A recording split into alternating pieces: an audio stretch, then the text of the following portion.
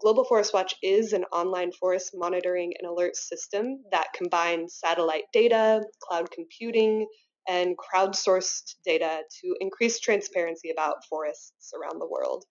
Um, the platform was launched in 2014, so actually it's quite a new initiative, uh, but we already have three breakout applications or apps uh, built off the main platform that cover fires, uh, climate, and commodities. Uh, and also, we host over 100 data sets. And these data sets come from a network of over 80 partners that Global Forest Watch uh, pretty much is. You know, this initiative is a partnership, and so not only are our partners providing data, but they're using that data to run their own analyses about what's happening in forests around the world um, and also looking at the different ways that forests are affected by supply chains or communities, um, and so and governments as well. So, despite the fact that we have had some revolutionary periods in tracking in tracking forests with data like this and with satellites, we're still losing 50 soccer fields of forests every minute of every day which has amounted to over 2.3 million square kilometers over the last 13 years. Um, and so, what Global Forest Watch is really trying to do is address that information gap. Um, because all of these different partners have data about where a forest being lost, who is using the forest, uh, and where the the last pristine forest still remaining, uh, Global Forest Watch has tried to compile that all into one comprehensive site. Uh, and so many, many of the most biodiversity rich forests are located in remote areas and are difficult to monitor. Uh, sometimes by the time you were able to monitor a forest and actually publish a map or a report about it, the forest would already be gone. And so what we've tried to do is bring that forest monitoring into near real time and really empower the people and empower the public empower all of you guys who are monitoring forests around the world to do the best possible. So now we're going to start uh, with an overview of the website. So this is our Global Forest Watch homepage. Um, as you'll see, we have a rotating carousel in the center. And this carousel features the latest research, stories, and features that we have on the website.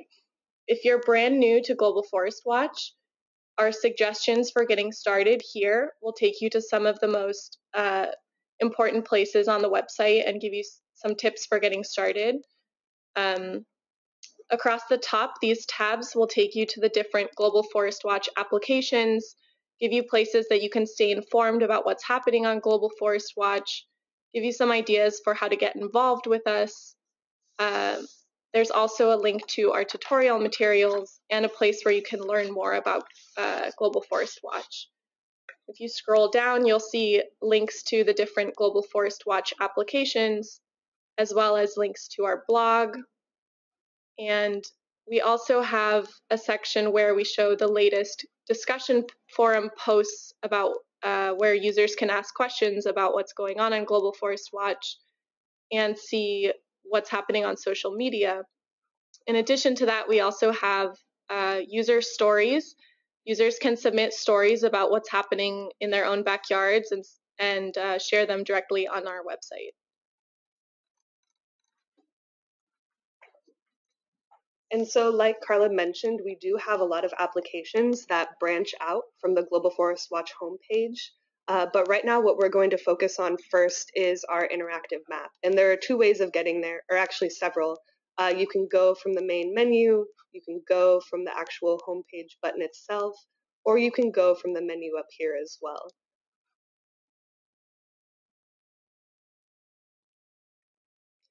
So what you're seeing here is our basic interactive map of the world and tree cover change. So we're going to go through a few different ways that you can use this map, what you're seeing on this map, and um, then afterwards go deep into a few examples of how you can really layer data um, using this map.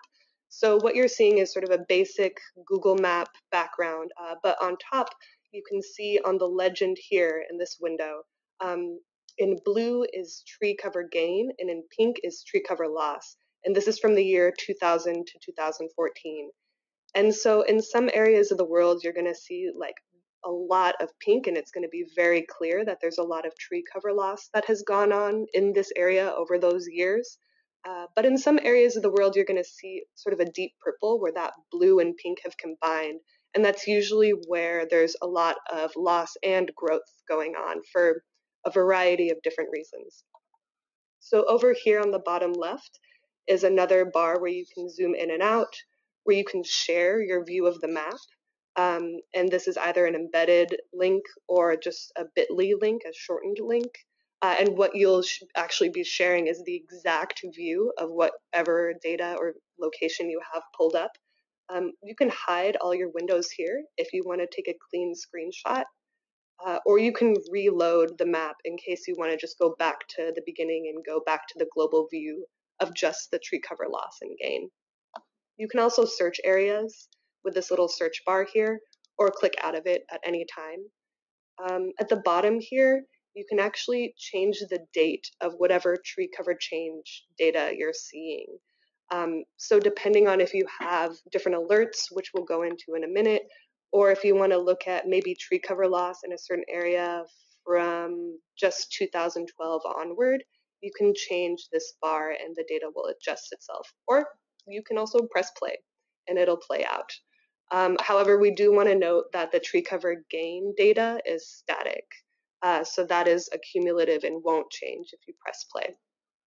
And then over here, you have some more in-depth analyses bars that Carla will go into in a minute. Uh, but also, if you want to give this basic overview another time or show someone else the map, you can click on the tour button down here and it'll go through pretty much what we just said. Um, we also want to show you the data, which is really our bread and butter of this map. And so you can go through our data menus up here at the top of the map. And this is everything from how forests are changing, and we give you a variety of choices to measure that. Um, and some data works better in different locations. For instance, um, Forma is uh, on a smaller time scale. It's not every year like the data we were just showing, but it's also only in the tropics. Uh, and so it's more like an exclamation point of what to look at at a wider area. Um, you can also see where are the forests. So we have um, global tree cover, we have where intact forests, which are those pristine, untouched forests. We have carbon stocks and mangroves. So you, you can really see like how that change is affecting the forests on the ground. We also have who is using the forests, and that's everything from mining to oil palm to dams. And these are data sets that can either be global or you can really dig deep and see if they apply to just one country or another. And these are also data sets that we're constantly accumulating.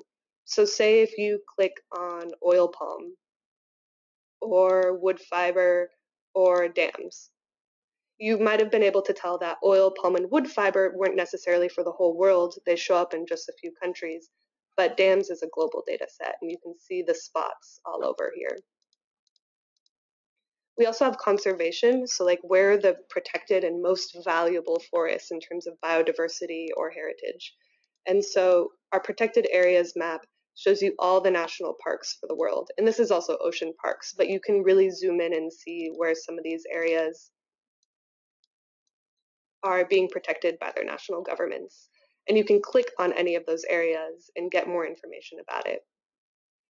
We also have biodiversity hotspots, tiger sites, bird sites. Uh, we have a lot of different options for protected areas. We also have who are the people living in the forests. So for a few countries, we have land rights, as in those communities who have legal land tenure as recognized by their government. Uh, and we also have stories. So we have two partners that focus on forest and environmental journalism, and their sites or their stories can be seen on the site. And we have crowdsourced stories, which we'll go into a little bit more later. So I'm going to just take a second to address a couple of questions that we've had so far. Um, first, uh, what's going on in the areas that are white? So as you can see from the tree cover data set, um, most of the white areas don't actually have any forests. So the satellite uh, detection won't pick up any forest change because there's not actually any forest there. Um, another question is, is the information in real time? And our forest change data sets vary in how frequently they're updated. So the tree cover loss and gain data is updated once a year and it reflects annual information, but the alert systems are updated as often as every month or every two weeks. Um, and so these are measured at a lower resolution, but they point to areas where recent change has occurred. So that way it can be verified on the ground.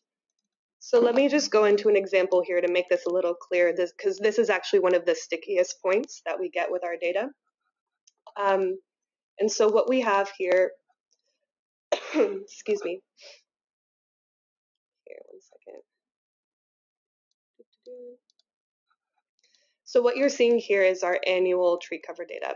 Like I said, this is taken with um, with satellites, and so actually the way this works is that every year, uh, one of our partners at the University of Maryland goes in and looks at Landsat satellite imagery and sort of compares the tree cover from year to year. So if actually an area of 30 by 30 meters has disappeared from the map uh, in terms of tree cover, then they slap a pixel on it. And so what you're seeing here is an accumulation of those pixels. And that's 30 by 30 meter resolution but that's on an annual scale. And so you can see year by year how it changes. And this is a site in Peru that we actually use as a good example of the ways that our um, different alerts work differently. So here I'm going to pull up Forma, which is more like every month or every quarter. Um, it's a actually 500 meter resolution, so it's a much wider area, but you're getting a more um, more up to date and near real time status. So you can still change around this bar as well and see how the alerts have popped up and when. Um, or you can use, for instance, in Latin America, we have a more specialized data set, which is Terra-I. And this is a smaller resolution, and it's actually quite frequent. It's just using different satellite sensors. And so what you're really doing is comparing uh, and verifying between data sets. But what you can also do is over here on the right, we have our base map section. And so this white area, just because it's not picking up tree cover loss, doesn't mean that there's not trees there. And so say I go to the roads, which is my personal favorite in terms of um, general satellite imagery, because you can actually still see the town names and stuff. And you can see this area on the map has actually been deforested and it's been picked up by satellite imagery. So this tree cover loss, because it's at a smaller resolution, is actually more tightly fitted to the area that's actually lost. So you can see it almost matches perfectly on the map. And you can see, for instance, it all pops up in 2013. So we can really hone in on that.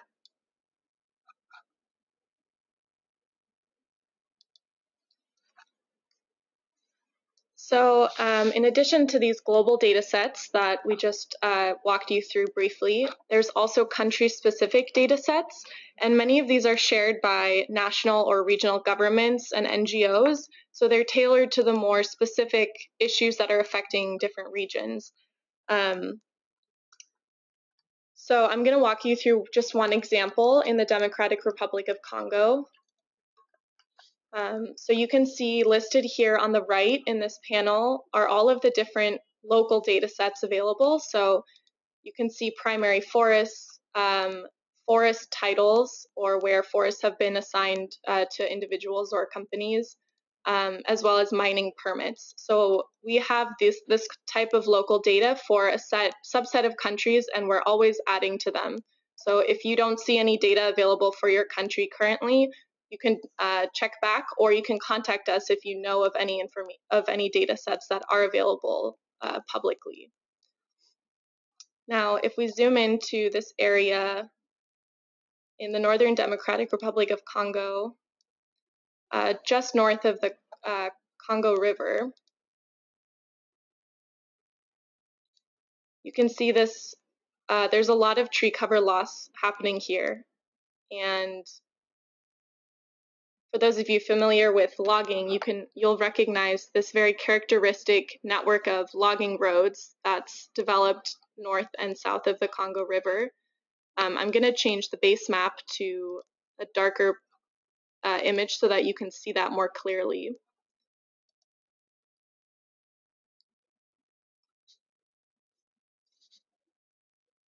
And we can also look at this example with some of our other data sets. So if we turn on the Forma alerts again, we see very similar, the Forma alerts also picked up on this forest change happening in this area. Um, and we can combine this now with different kinds of data sets available. So the intact forest landscapes data shows the last remaining untouched forests around the world uh, the darker green shows remaining intact forests, and these areas of lighter green show where there's been a reduction in the intact forests. So you can see that the logging roads are going right into these primary forests. So this is a good example of how combining the global data sets with local layers can reveal what's going on more specifically. And in addition, we have a layer on logging roads. So this data set comes from an initiative uh, through Global Forest Watch and Moabi, which is an NGO that works in the Democratic Republic of Congo. And they use crowdsourced data to map when uh, logging roads appear on satellite imagery. So here we can see the different dates that people have assigned to the logging roads and actually compare it with what's going on in the map.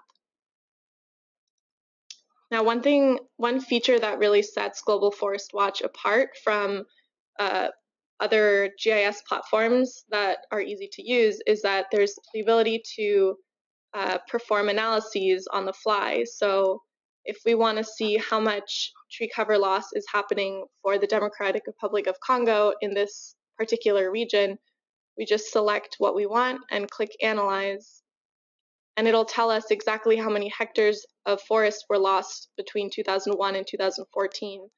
And this actually changes in real time if you select a different tree cover change data set.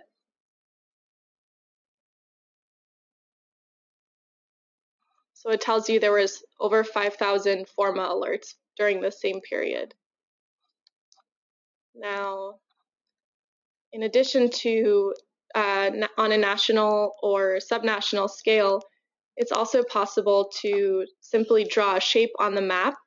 Uh, so if you're interested in a particular area that you want to analyze, you just draw a shape around it, click Analyze, and the map will give you exactly how many hectares were lost in this region. This also adjusts based on time. So if you are interested in a subset of years, the analysis will reflect whatever you select on the time slider.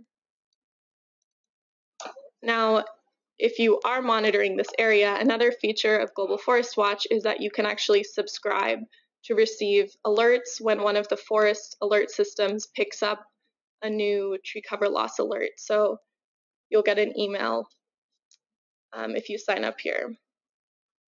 And one more feature that I'd like to point out um, is that Global Forest Watch also has a variety of satellite imagery base maps available. So the most ba basic Google map imagery is available here um, under the base map tab.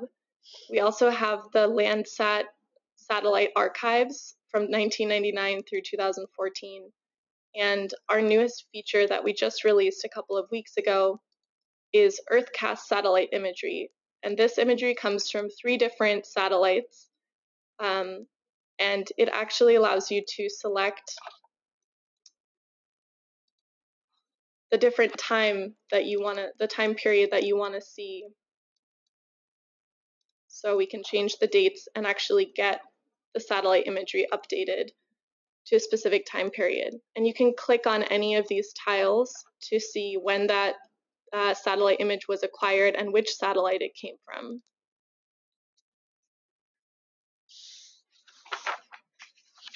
So a few more things that I want to point out on the map as well. Um, I mean, as you can tell, there are so many different ways that you can go into the data on this map. Like I said, we have over 100 data sets here alone. uh, from the country data to the global data up here. Um, and some of it is in near real time, some of it is static in the form of polygons, uh, sort of like the concession data that we pulled up, where you can say mining.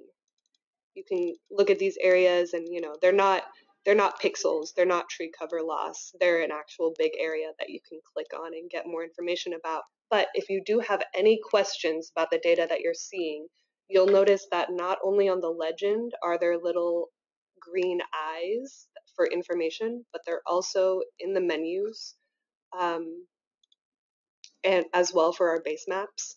And you can click on those little eyes at any time and an information window will pop up. Uh, not only telling you how frequently the data is updated, but also where it comes from, how we define the parameters of that data. For instance, um, here, for instance, our tree cover loss data, like I said, is at 30 meters by 30 meters. It's annual, it's from 2001 to 2014, but then it also goes into like how this data was collected. And if you have more questions about it, you can go to the website from which it originates. Uh, and that's as that's the same goes for these polygon data, this like shape data that's a little more static. Uh, and another thing is we've gone through a lot of our tree cover loss data, but another data set that we uh, look to quite a bit is our active fire data. Uh, and it shows you where fire alerts have been picked up by NASA around the world. And so you'll notice that these are more like pinpoints, if I'm to zoom in. Uh, and these areas that are really dark red aren't necessarily really big fires, they're just a greater cluster of fire points.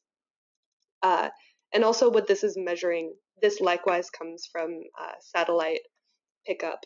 And so what this is measuring is the confidence of a fire. So it doesn't actually give you the area of it, but it shows you a point, latitude and longitude, where it originates from, its brightness and its confidence level, which is sort of like a rating of how likely that is to be a fire, since all of this is remotely sensed with satellites.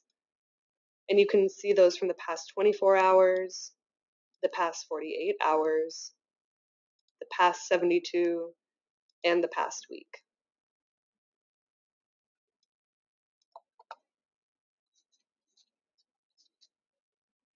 So we're looking at some of the questions here, and we had a question about plantations. Because uh, what I did earlier was I zoomed in on this plantation in Peru, right? Uh, and what you're seeing here is data that comes from a satellite. It's not actually given any sort of indication of why it might have happened, right? It's just a what. What are we seeing from space? Uh, and what can we see on the map?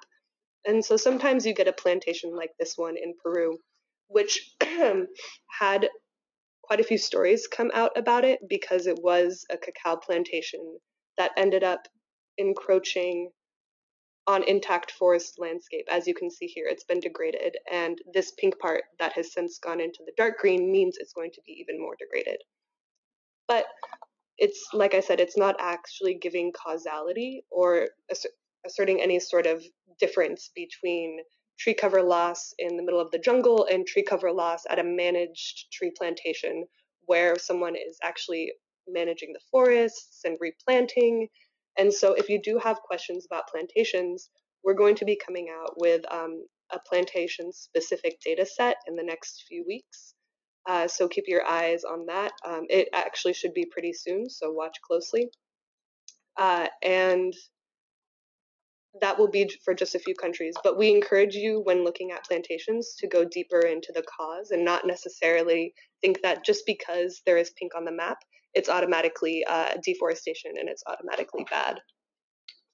Uh, we had another question about how frequently we update the data. And so the forest change data sets are updated automatically uh, based on the, the intervals that the, we receive new data in. And those are all, you can find all of the information about how frequently they're updated under these information icons. Um, the other data sets like land use and conservation are updated depending on how frequently updates are available for each individual data set. So Um, sometimes it's a one-time data set, and so you have to look at the time stamp that that data was acquired in. But often we do receive updates. Uh, we recently had an update to our uh, oil palm concessions data set in the Republic of Congo. So it just depends on when our sources give us uh, updates to those data sets. Um, and so now we've shown you around the map a little bit, and I just want to point out another feature of Global Forest Watch, which is our country profiles and rankings. So this is another part of the website where you can see information about what's going on in forests around the world for just one particular country that you're interested in. So I'm going to go back to the Democratic Republic of Congo. And on this page, you can see the same tree cover data information that was displayed on the map, but it's in an infographic. Um, and this is uh, easily shareable, so you can embed this into a website or copy the link. Um, and it also can be adjusted by canopy density. So the canopy density is a measure of how much uh, tree cover the satellite picks up in order to mark something as a forest. Um, because different uh, countries actually have different definitions for what's considered a forest. So that just allows you to make adjustments based on the specific country that you're looking at. Um, in addition to this tree cover uh, data that we also showed you on the map, there's some additional contextual data that we provide here. So there's information about what type, how, what the percentages of types of forests are in this country, some information about the economic value of that forest, um, as well as some climate data. We also have the conventions that this particular country has signed on to and some links to their government websites and their forestry ministries. Now you can also adjust this data for a particular uh, region that you're looking at, and the top part of this will adjust to just this particular area. So it's another way of getting an analysis of what's going on in the forest um, in one particular region. On this website, you can also download our tree cover stats, and this will download an Excel spreadsheet of um, all of the tree cover data from the University of Maryland. So that's our main annual data set for all countries and regions around the world. And one more um, part of the website we'd like to show you is our country rankings. Um, now these are only based on the University of Maryland data set, but they do list all countries based on the greatest tree cover loss between 2001 and 2014. And they also show that same ranking based on tree cover gain. So you can get an idea of which countries have cycles of deforestation and replanting. Um, it shows the greatest overall tree cover. So you can see that the top five countries are approximately the same in terms of the greatest tree cover loss, gain, and tree cover. Now the rankings also organize tree cover loss by different climate domains. So you can see that the majority of tree cover hap loss happens is still happening in tropical areas around the world.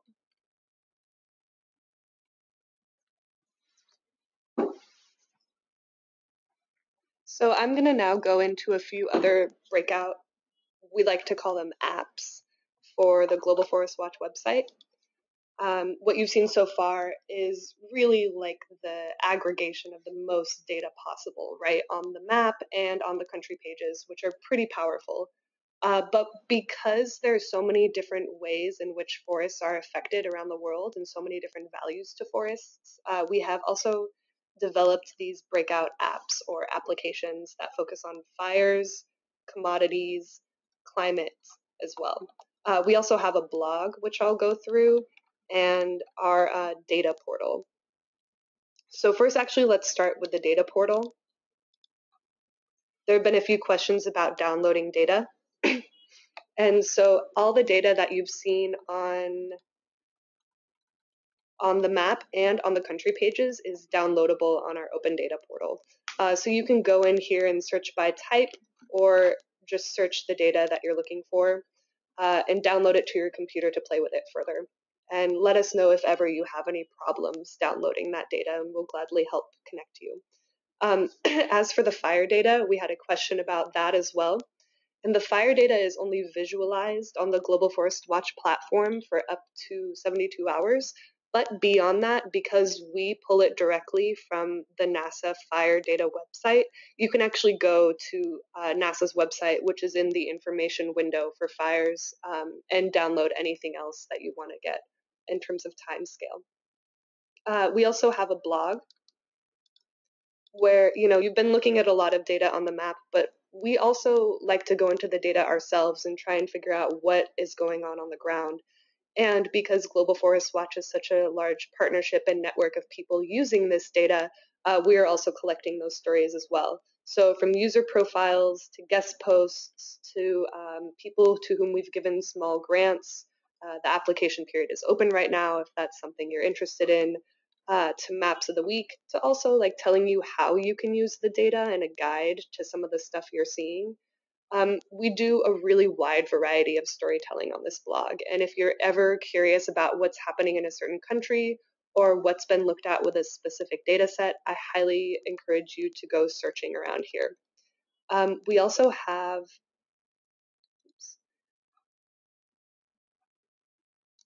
we also have, like I mentioned earlier, crowdsourced stories. Uh, and these you can not only visualize on the map, as I showed, but you can also see them written out here. Uh, and you can actually upload crowdsourced stories yourself. It's really easy. And not only are you sharing stories about what's going on on the ground or what sort of projects you're working on in forests, um, but you'll be able to pull it up on the map. So if someone uh, if someone is actually looking for more information about what's happening on the ground, they'll be able to link directly to your story. And that is just really easy. Just submit your story, uh, and it gives you a quick form. I should also mention that uh, Global Forest Watch is mobile optimized.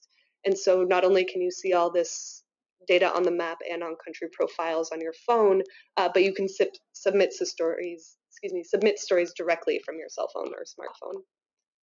Um, so our other breakout applications include fires, which I'm just going to mention and not go too deeply into because these could merit their webinars entirely of their own, and we will have follow-up webinars in the months uh, coming. Uh, but Global Forest Watch Fires was developed specifically to focus on the issue of land and forest fires in the ASEAN region, specifically Indonesia. Um, and here, let's let it load. And so not only are you seeing these same fire alerts, uh, but they are in a different platform that looks at um, different things from burn scars. We have satellite imagery that focuses on fires. Um, we also have wind direction, so you can see where haze from the fires is being pushed because in Indonesia, these fires are actually in areas that contain usually peat soil, and that peat soil, when burned, has a very negative effect on the environment in that it releases toxic smoke. Uh, and in the past few years, Indonesia has had a lot of media attention from around the world because of these fires that are choking pretty much the whole region. Um, we had um, one question about how, how many users Global Forest Watch has, and we have a, over 30,000 active users uh, a month and about 40,000 sessions per month. So um, we do work also individually with certain countries to try to encourage nonprofits and governments to use Global Forest Watch as a, um, a source.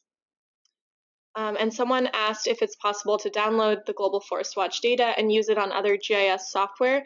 Um, so the open data portal that we showed you does have all of our data sets available in a variety of formats, uh, shape files, KMLs, um, there's a whole variety. And so those can be used in ArcGIS or any other GIS platforms that you might have yourself. So another application that I'm going to touch on just really quickly in case anyone else is interested is our GFW commodities platform.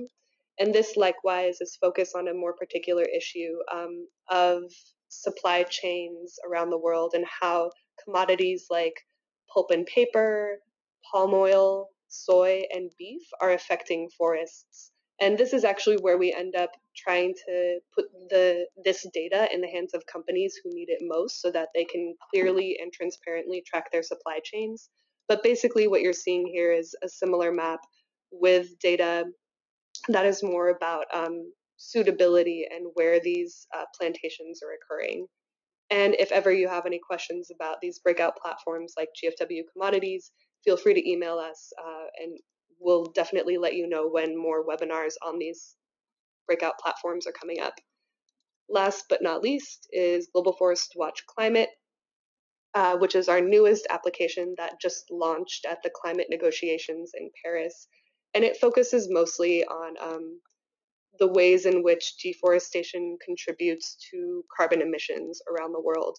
Because as each tree is 50% carbon, when you cut those down and just leave them lying around, they end up producing a significant amount of emissions. So what you're seeing on this map, instead of tree cover loss, is actually tree biomass loss.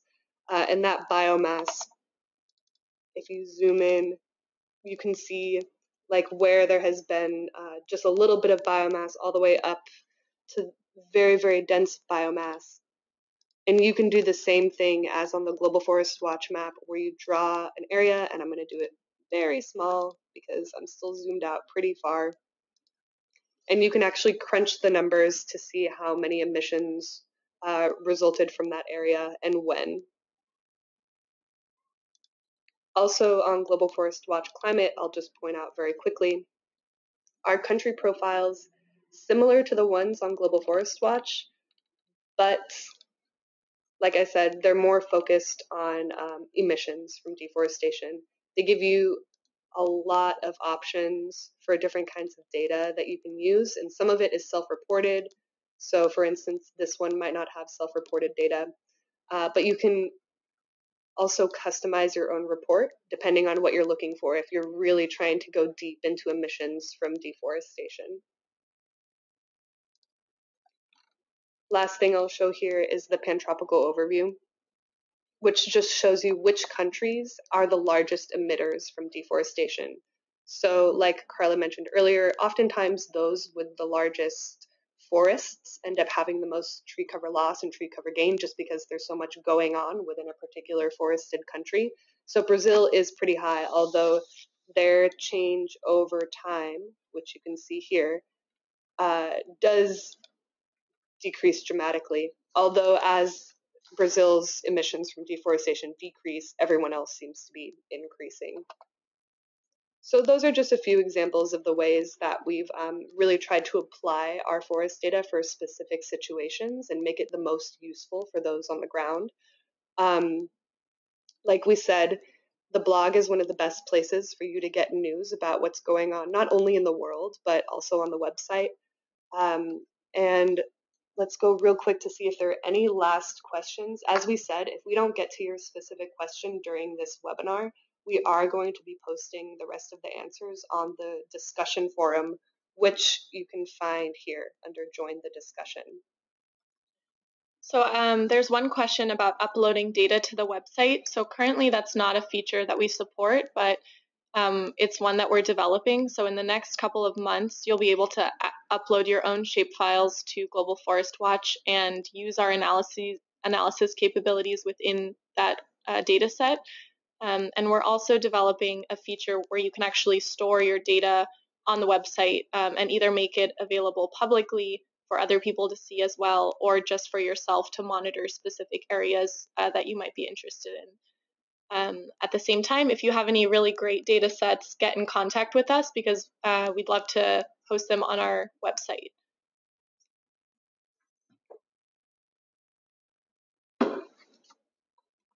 So now that we've gone through most of the Global Forest Watch website, we just want to say thank you very much for joining and also point you in a few directions of ways you can get involved.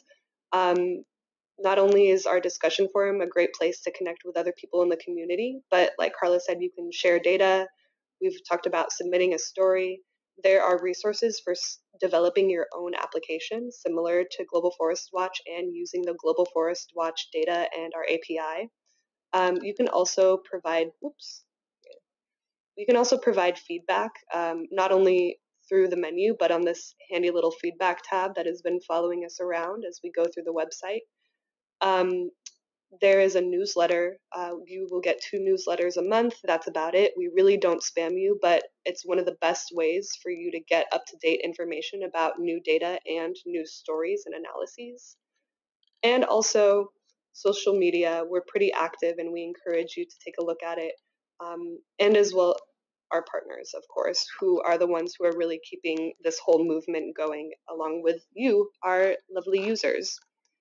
Um, we will be having webinars each month. So if you could not make it, or if you want to encourage other people on your team or in your community to join the next webinar, it will be about the same time, the last week of the month. Um, and we'll be also altering the time zones so that we catch almost everyone we can around the world. If you are interested in a specific webinar for one of our breakout applications or for a specific use of our data, just let us know and we might be able to accommodate your needs. Uh, we also encourage you to watch the recorded webinar or share that once we make it available. Uh, because this is our first official webinar, we're also asking you to please fill out our webinar survey. It's just a few questions. It'll be very helpful for us in gathering information. Um, and that is bit.ly slash GFW webinar one. That's bit dot ly slash GFW webinar one. And we'll actually be sending you an email to all those who registered for the webinar with follow up information and resources, including this survey. But we really want to thank you all for joining. We hope this was incredibly helpful in your use of forest data and in helping us monitor forests all around the world with this movement of transparency and openness. We encourage you to get involved, to stay in touch, and we look forward to hearing all the amazing things that you're doing with the data soon.